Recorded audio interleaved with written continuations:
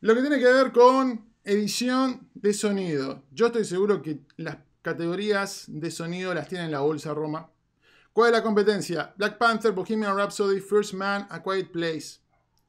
Las cuatro son bastante fuertes. Yo todo lo que es la parte sonora me parece tan espectacular, sobre todo por haberla visto en una pantalla grande de cine.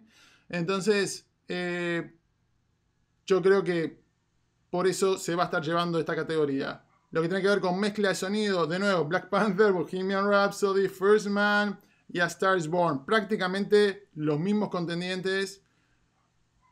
Y yo creo que también va a estar llevándoselo Roma. Yo creo que esas dos ya la tienen en la bolsa. Diseño de producción, Black Panther, The Favorite, First Man y Mary Poppins. Súper competitiva. Súper competitiva. Siento que de nuevo eh, la la ola Roma va a estar empujando este tipo de categorías competitivas y pensando en todo lo que pasa en el background de la película, todas las pequeñas historias y cómo se crea esa vida alrededor de los personajes y no solamente lo que está delante inmediatamente de la cámara, yo creo que eso va a ser recompensado, así que también me la estoy jugando con diseño de producción.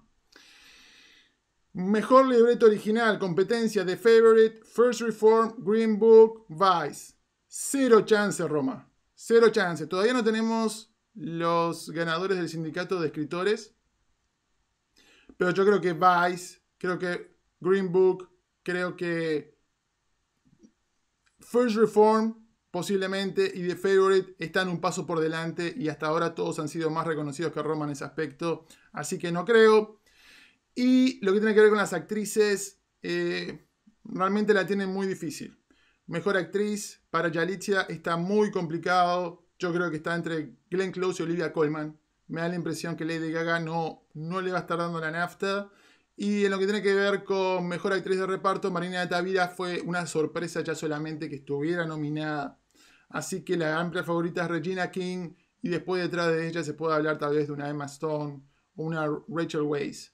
Así que por ese lado no van a tener demasiadas chances. En lo que tiene que ver con dirección, ah, yo estoy bastante seguro que se lo va a ganar. Y si quieren ya pasamos con...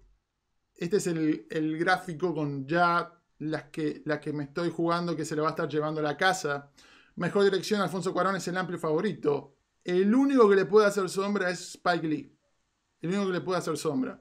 Recordemos que Spike Lee es la primera nominación que está recibiendo como director y realmente es un trabajo fantástico, genial. No, no lo veo probable, pero es posible que Spike Lee le pueda hacer sombra en esa categoría. Yo me la juego por Alfonso Cuarón y en lo que tiene que ver con mejor fotografía, mejor fotografía, eh, siento que la amplia favorita es Roma. Que de nuevo, una categoría que ha sido eh, también dominada por los, por mexicanos con el Chivo Lubeski, que, que, ha hecho un trabajo fantástico, que ha colaborado con Cuarón muchas veces. Recordemos que Cuarón empezó su carrera como director de fotografía, ¿cierto? Empezó en, televisión, haciendo cortos y, cosas, pero el haber trabajado con un genio como el Chivo Lubeski, evidentemente lo hizo eh, crecer en ese aspecto y nos entregó algo que es esencial para lo que está contando la historia y para crear la ilusión de que estamos viajando en el tiempo y que nos está llevando de la mano Cuarón, eh, recorriendo no solamente este pasado, sino por sus memorias también. Así que la fotografía me parece que es no solamente sublime estéticamente, pero narrativamente también es más importante que tal vez otras películas. En lo que tiene que ver con mejor película, yo estoy más seguro que Roma va a ganar mejor película el día de hoy que película extranjera. Yo creo que esa división que tenemos muchas veces entre se va por actor de... Eh, perdón, la academia se divide y dice, ok, vamos a compensar un poco y va a ser mejor director por un lado y se va a ir mejor película por el otro. Yo creo que esta ocasión mejor película y mejor director van a ir de la mano juntos. Entonces, si querés repartir un poco el premio o los premios, ¿por dónde te vas?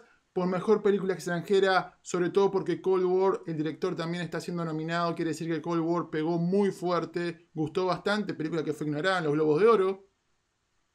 la película polaca. Entonces, la tengo pintada como que sí va a ganar eh, Roma esa categoría de película extranjera, pero está pintada un poquito menos fuerte que las otras, por las dudas. Así que estamos hablando de 1, 2, 3, 4, 5 y 6 y medio. 6, 7 se va a llevar mejor película extranjera. Es un poco lo que me está causando curiosidad. Muchachos, pasamos al próximo tema.